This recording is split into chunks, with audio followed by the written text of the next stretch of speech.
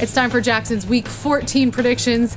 He's going to be picking the game between the Dallas Cowboys and the Green Bay Packers. This green cookie is going to be for the Green Bay Packers, this one for the Dallas Cowboys. Whichever one he eats first is the winner. Jackson, ready to pick? Are you ready to pick? Who's going to win the game?